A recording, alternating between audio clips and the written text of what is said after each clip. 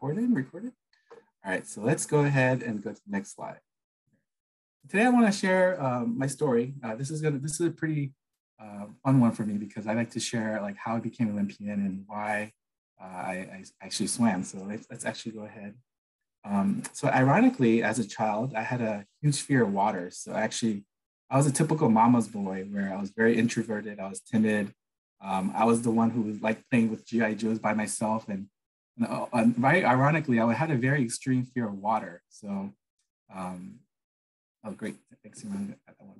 Uh, so yeah, I have, I have bad memories of older kids dunking my head in the water for long periods of time, uh, making me choke. So when I first started swimming, I actually hated it. I, I uh, you know, actually was actually a baseball player, and I played really well, but I love also love food.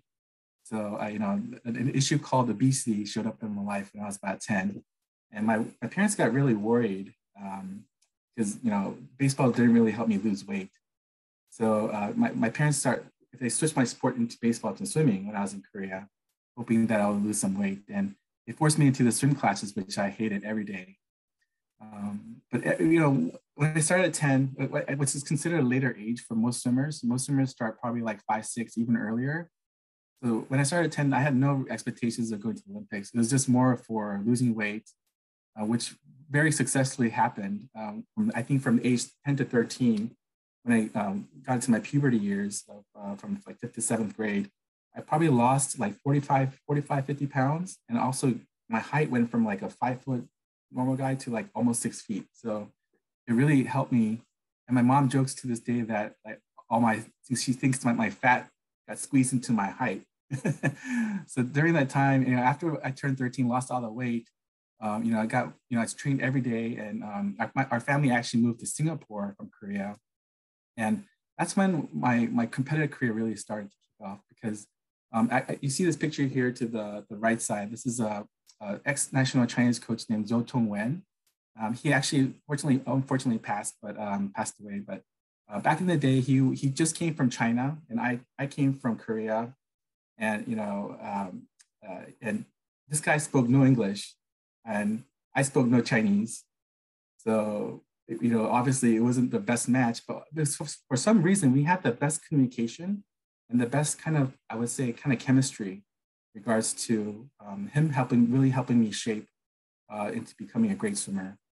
Um, I think one, I think one thing that that I wish that he didn't do was smoking. He did, he did smoke a lot, and back, back in the day when outdoor pools you're allowed to smoke, he did smoke a lot during practice. I remember him like having like two, three packs of cigarettes while coaching us. So that was back in the day. Definitely not not doable right now. Definitely can't do that now. But back in the day, you were able to, I guess, you could smoke in the swimming pool. But I remember him um, having this big, like this big, uh, what do you call that? Kind of like loudspeaker, kind of, you know, the microphone. And he'll always like yell the numbers. And you know, I ultimately like, catch the number, the Chinese numbers really quickly. I was able to, you know, understand like if he told me to do like, you know, 50, 100s or, you know, some kind of like a, like a swim set, then I'll understand it.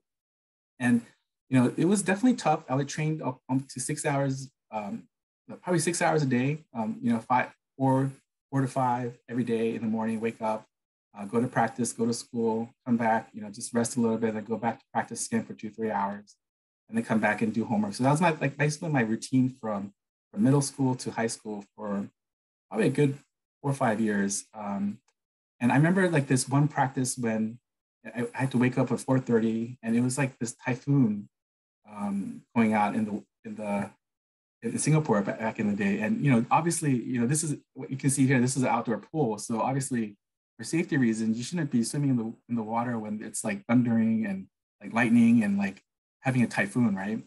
But you know, being my Asian parents, my Asian parents, they still drove me to practice at 4:30 that morning when it was just pouring rain. And um, you know, I was I was really mad at that time because I remember, you know, I was like, I was telling my dad, I was like, father, like, you know, coach is not going to show up. No swimmers are going to show up. This is like the worst time to swim. And so we're just waiting in front of the gate of the swimming pool. And you know, funny enough, this coach, Coach Zoe, he just walks with his umbrella. He started walking towards the pool and it was just me and him for that practice and it was like thundering rain typhoon and i remember that that that practice to this day that it was one of the hardest practices i ever did was it's it's, uh, um, it's like a 15 it's like a mile of butterfly so just swimming butterfly which is you know you guys know like the hardest stroke and he told me to do swim a mile butterfly, and uh, within a certain time. And I didn't do, I couldn't meet it, so he made me swim it again. So I basically swam two miles of butterfly that day.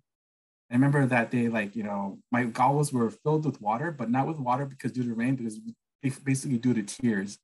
Because I was just so angry, and I was like, "Why am I? What am I doing here in this typhoon weather with this coach one on one?" Uh, and swimming just like the most hardest that I've ever done in my whole life, my whole swimming career.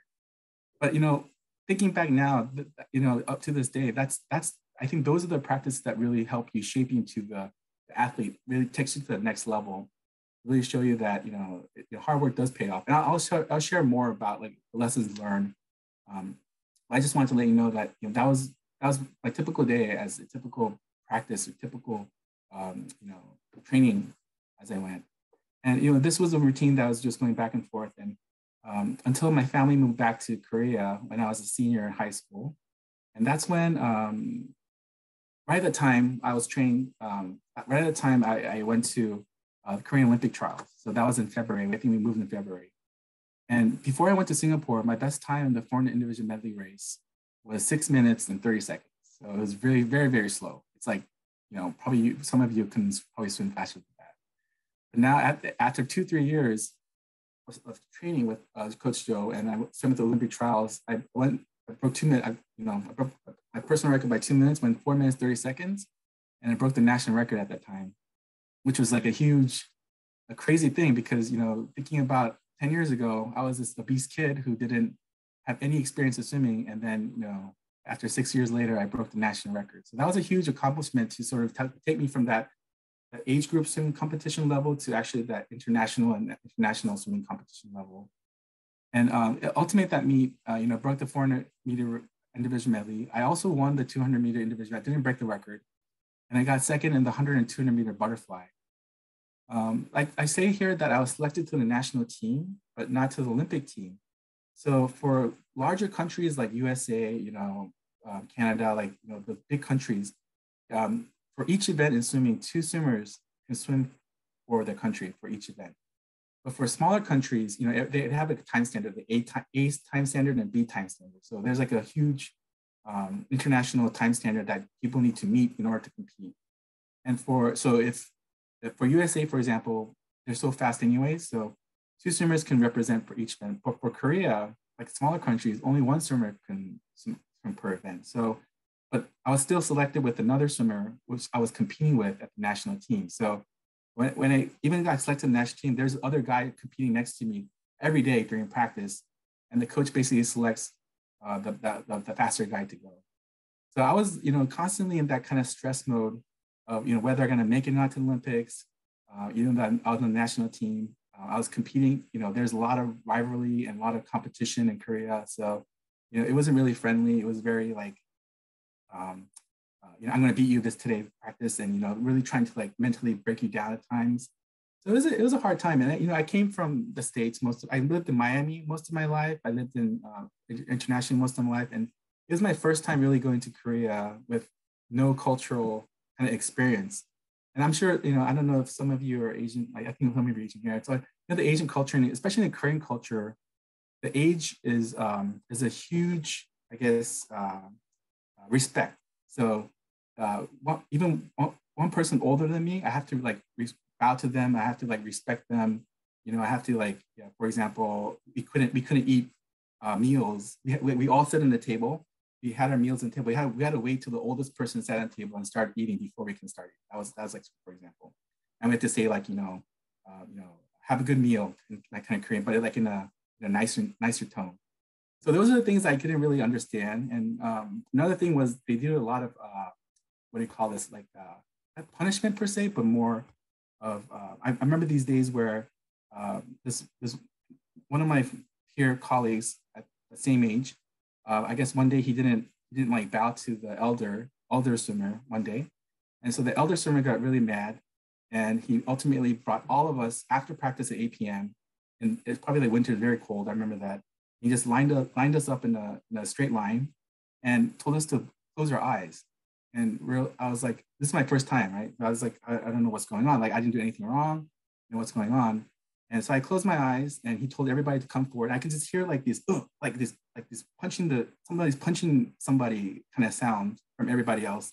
It was my turn, and this guy kicked me in the in the chest, like like like you know like like like a really karate kick, for no reason. And I got so angry at that time. I was like, why am I getting kicked? And it was it really hurt because it was just like a know tap. It was like actually like a physical beating kind of hurt.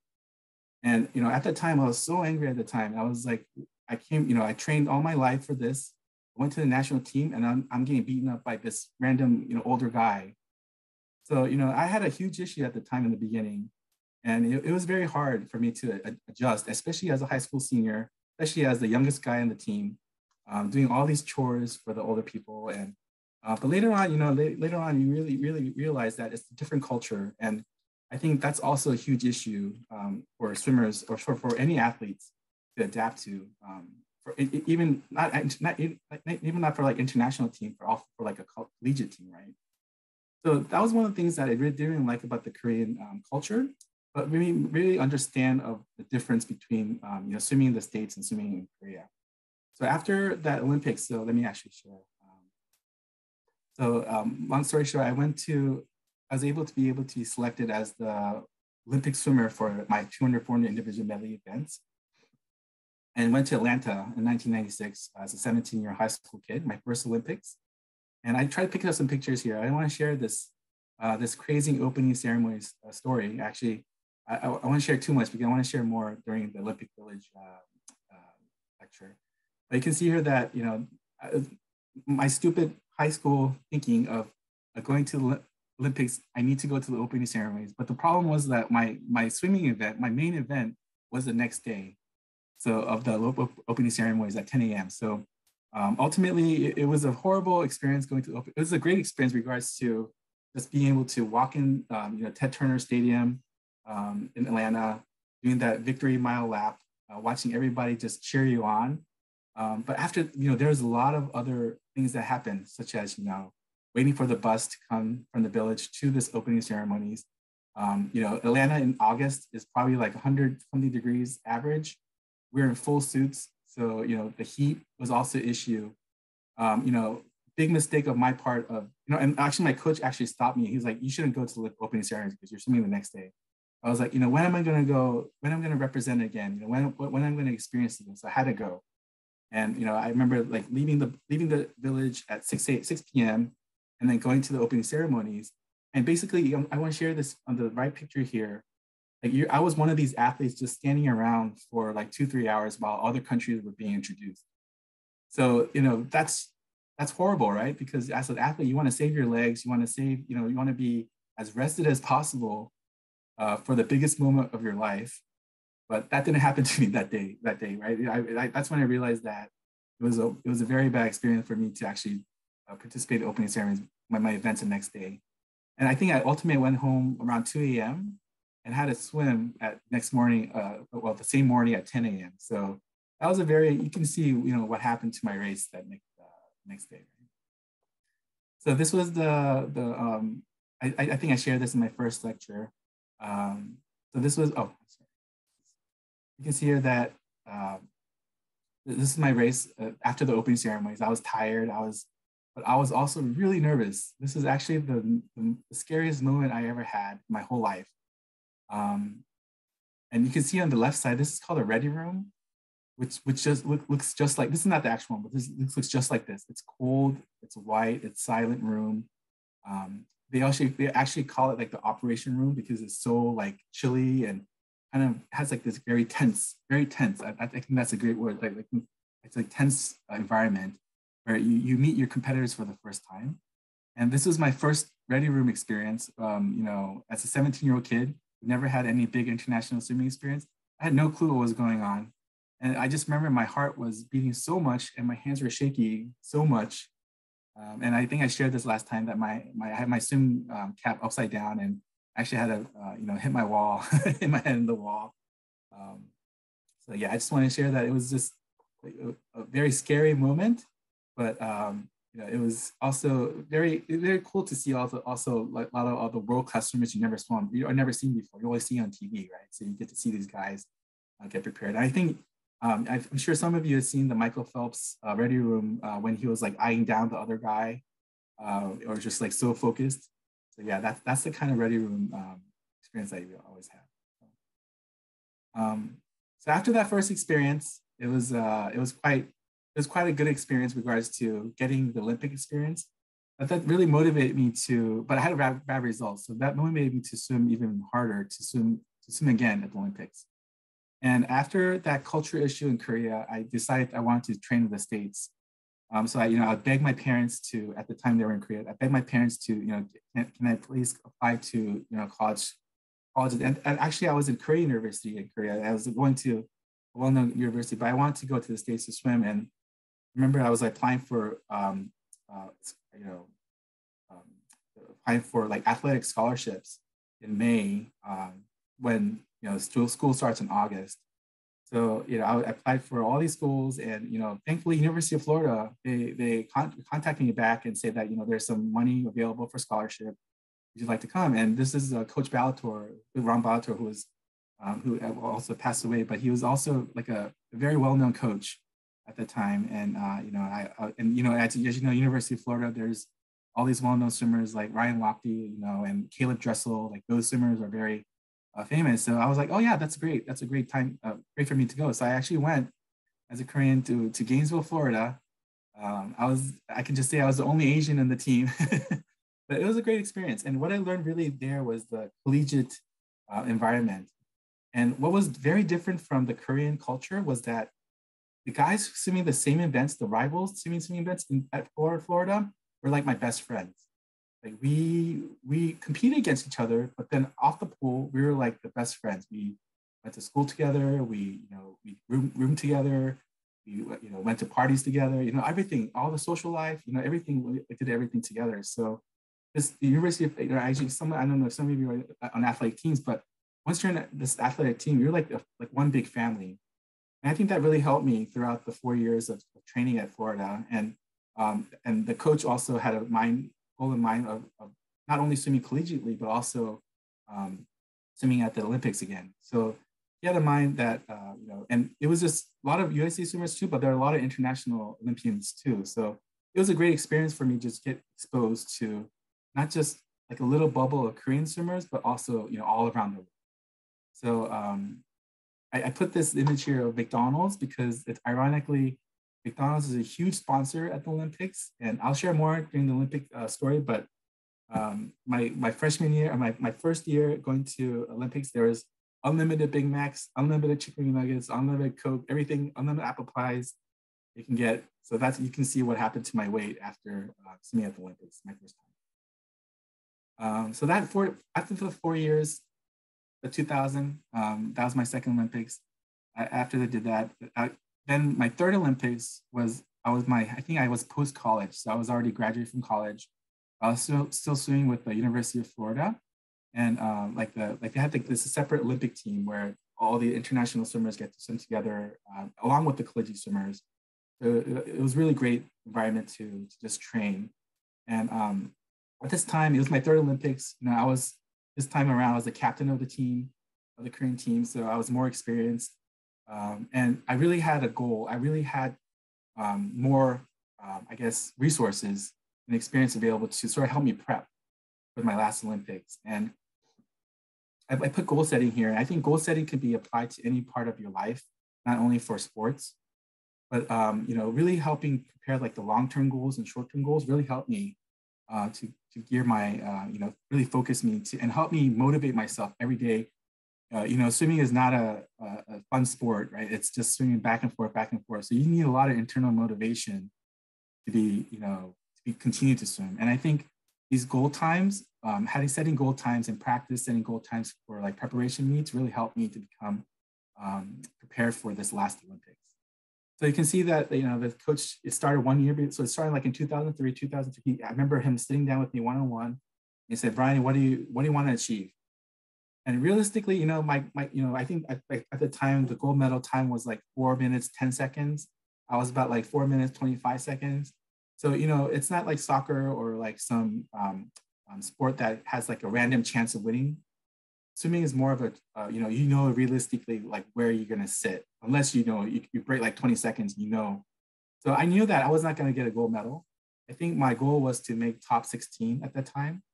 And, um, you know, uh, he, he asked me for like, I don't know if most of you guys, but it's like the SMART principle, which is the being specific as possible, measurable, attainable, realistic, and time.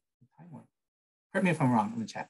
But um, he bring the SMART principle, and it helped me really a lot to be as specific possible in my times. Even to the like, for example, if it's a 400 meter individual medley race, I would um, get specific as like you know breaking it down to like 25 meters. So I'll have like a certain time 25 meters. I have a certain time at 50 meters, certain time again at 75, certain time at 100, and I, you really train for that. And you know, since individual medley was all four strokes, you also have to have individual um, stroke times as well. Be as specific as possible, realistic possible. And there's also several uh, preparation meets as well before the Olympics. So uh, I just remember this story about uh, swimming next to Michael Phelps in one of the prep meets. I think it was in Santa Clara, California. Um, it was like one of the uh, smaller meets, but it's actually a, a, huge meet because a lot of Olympians were sort of prepping for it. You know how like World Cup, like in World Cup, there's a lot of friendlies before that.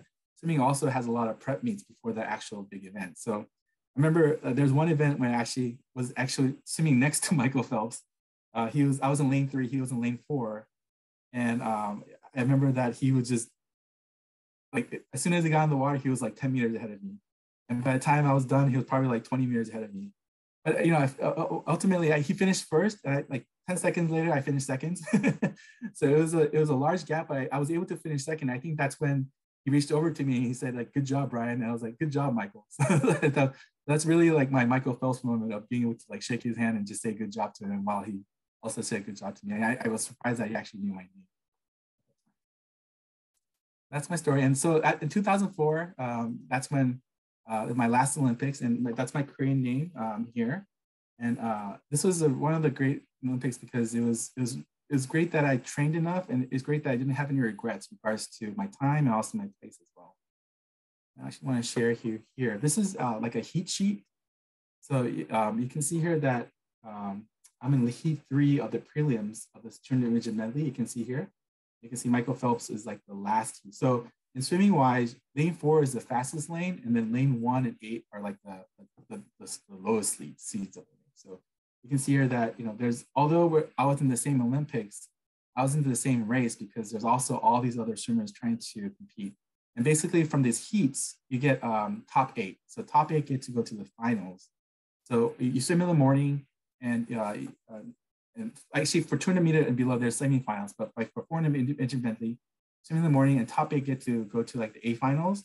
And back in the day, there's actually B finals where the top 16, it's like 9 to 16 get to compete in the B finals. So that was actually my goal, just to compete in the top 16, like in the B finals. You here, um, I just want to share my races, the results. So in 1996, I was 26th in the 200 and individual medley and 21st in the 400 individual medley. Um, 2000 didn't have great experience. So I was 33rd in the 400 individual. I only swam in one event at that time. And then in 2004, uh, I got 20. So that was my highest place was 20th in the 400 individual medley with the new national record and um, 26th in the 200. So those things I, you know, it didn't really, it, it's not like gold medal wise, or it's not like, you know, top 16, I didn't really reach that goal. But I was happy enough to, you know, uh, just think that, you know, I did break the national record and I did a place the best place finish I ever done in my Olympic career. So I was pretty happy with that overall at that time. Um, no regrets really, but it really, you know, if I look back now, I wish I could have done more because, you know, if you think about it, it was only a few seconds away. If I, let me go back here uh, to the heat sheet uh, you know, five seconds, I was two, 205 in the 200 meter and he's probably 10, oh, okay, 10 seconds is pretty, it's a pretty large gap. But like to like five, six seconds, if I, I think if I trained more, I probably um, would have made like top eight. So that's uh, my story. Okay. So um, the remaining, remaining of time, the 10 minutes or so, I'd like to just share, um, you know, what I learned. Uh, so I, I try to compare, I try to list like three things I've learned from competitive swimming. And the first thing is uh, no fear, no regret. So when if, I don't know if you know this logo here, this is like a back in my day kind of no fear logo. Um, I don't mean like this kind of fear regards to like really getting scared where you're going to a haunted house or seeing scary things. Um, but I mean like a different kind of fear. So like I said in my early years about my huge fear of water, um, over time I just had to overcome it. Uh, it, it, I think at the time, simply because of my parents, I was scared of my parents. and, uh, you know, swimming did help me lose a lot of weight. Um, you know, in fact, you know, about like 45 pounds or so and you know just training for the olympics and re- representing korea going to my first olympics and after my first olympic race you know i had a pretty bad race i think i was finished finished like 32nd or 30 whatever 30th 30th position and being way slower than i expected and i remember like after that race just going to the locker room and just just you know crying in the corner because i was just so devastated and regretting it so much um, but that was also, I think that was also a turning point for me in regards to my mentality um, of, of not having that kind of fear again when I was at my first race of just being so shaky and so nervous at that time, right? And um, just to tackle upon it. Like if you have to do it, just tackle upon it. And uh, you know, as you know, I failed many times in swimming. I failed many, many times. You know, there's many races where I, you know, I didn't, I didn't do as well um, and you know didn't didn't reach my goal time, for example. But you know, just get back back back up, and I think that kind of negative motivation actually helped me to train harder the next time, so be more focused uh, the next time I race.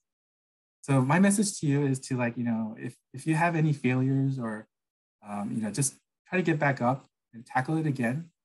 Um, if there's any like if there's like a task or job that's really difficult in your life right now, you know, don't be scared. Like, don't try to avoid it. Uh, you, know, you can be scared of fear, but don't avoid it and try to tackle it.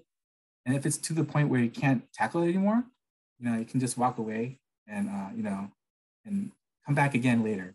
And keep on doing that until you do it until you don't have any regrets, right? Um, or maybe find another career if it doesn't really work out. I'm just kidding about that. So the next thing I want to talk about is that hard work does pay off regards to swimming wise. Like uh, uh applied to swimming, uh, let me actually share this number here. So um, as a data geek, I want to figure out the number of laps I competed in the Olympics and came out with this kind of uh, numbers. So I practiced about 8,000 meters average of, average of practice, uh, two times a day for 365 days, minus the 53 Sundays and because um, we do have to rest up, adds up to about 100,000 laps a year, and you multiply that four, so that's adds up to about 400,000 laps um, to compete in like in a less than five minute race. So you can see how much dedication it takes just to swim in that less than five minutes, and even it's even shorter for most swimmers, right? Or similar, you know, 50 meters only like like 20 seconds or less, 20, 25 seconds or less. And you're training all this time for that little time. And, you know, is it really worth it? You know, if I do it, would I be able to do it again? I, I would definitely do it again if I had the if I had the chance. I would do I would probably do it harder. I'll probably push harder myself time. And you know, just looking at this number, it might seem a little crazy. And this is probably why when you meet a swimmer or like a former swimmer, they might be a little off and a little crazy because you know swimming does make you a little bit crazy just swimming back and forth you know that 400,000 times just thinking about think about so you, you try think about you swimming 400,000 laps, 400,000 laps just back and forth. You know, I remember like I was talking to a badminton Olympian and he used to make fun of us because you know all we did was swim back and forth, back and forth, and all these endless laps and and you know this pictures these pictures show exactly what like morning winter practices are like in like in 30 degree outdoor pool weather um, being able to swim at 5 a.m when everybody's sleeping at that time um, and I, am just thankful, very not like looking back, I'm very thankful to my parents, and my coaches, and you know my my colleagues because they're the ones who took me to practice. They're the one who motivated me practice at 5 a.m. 5 a.m. Know, I was telling you that before that, you know, there are many times when my goggles are filled with water with like just tears because I was practicing so hard. And I remember like there was times when after practice I couldn't even lift up my utensils for, for a meal because I you was just so tired. And um, but I think those swimming those endless laps of six to eight hour practices really helped shape my character and really helped me to become strong and work hard. Uh, you know, I did, really didn't have the talent of, of, like other swimmers, like like Michael Phelps has like natural talent, right? I didn't have that kind of natural talent. I had to work my butt off to get to that level. And I think those those things really help you. Um, and, and, and at, at, the end of the day, you know, those endless laps, those gold, lead to gold medals, national records. Um, you know, I traveling to countries that I'd never been before, all around the world. And most importantly, I think it, it really helped me to become Olympian. So, oops. So yeah, um, yeah. So I would do it in heartbeat again, but um, not in present time, of course, because uh, not now. But it, it, it and I, I admit, I, although I was uh, probably the only swimmer never have a six pack, I still remember those crazy practices. And it not it, from now, it really helps me to work harder to be to my fullest uh, ability. And you know, because you know, no pain, no gain, right? And anything is possible if you're committed and, and to work at the fullest. With, um, again, with no regret, if you're able to work um, to, to your fullest ability, and you'll definitely succeed in life in whatever you do um, whether it is you know athletics or whether it's work, if you just give it all and, and have really have no regrets and really work hard. And the last thing I just want to share, I know we're kind of early, um, we have some time. Um, I know this pointer doesn't really match with the first two, but I thought this was a very important pointer because, um, especially for those who are like introverted and timid like me, um, I think one of the most thankful things as being Olympic is that it's a it's a great conversation starter when I talk to people. Um, you know, many, many people now that I meet are very, very surprised when they find out that I, I swam the Olympics. They're like, oh, you know, a lot of sarcastic, like, really? You, uh, like, you, did you, did you go there for, as a fan? Or, and when I, I tell them I competed, I'm like, really? Like, you know, um, they have to double ask, like, so it even took my, even took some convincing my wife, my current wife to um, I was Olympian. Like when I first met her during my heavy days, she, you know, she she was really surprised that I actually swam the Olympics. So, but ultimately, you know, this is a great conversation. And I just want to tell you know that if you're introverted and timid like me, I've like really scared of starting a conversation.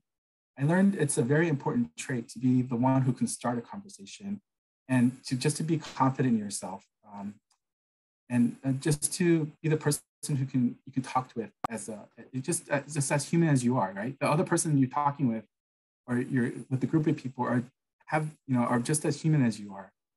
So you know, if you don't have to say anything, you can smile, talk about.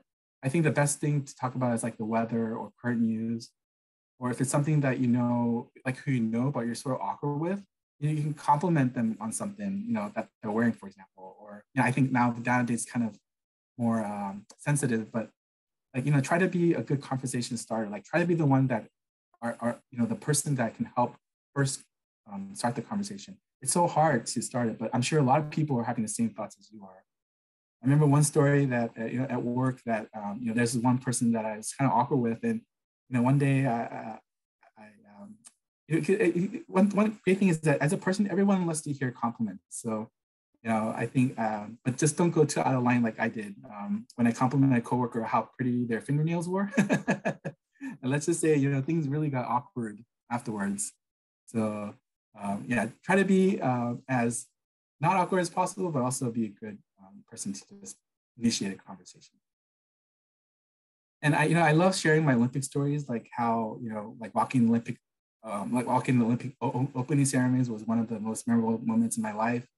I'll never forget, um, especially that energy the crowd gave while walking the victory lap. Um, and you know, really experiencing how inside and how what the village looks like inside. Um, it's uh, to be honest, I'll share more, but to be honest, it's really bare. Not not much to do. Um, as you can see here, like some pictures here, like that picture on the left side are just two single, you know, twin-size beds that athletes sleep on.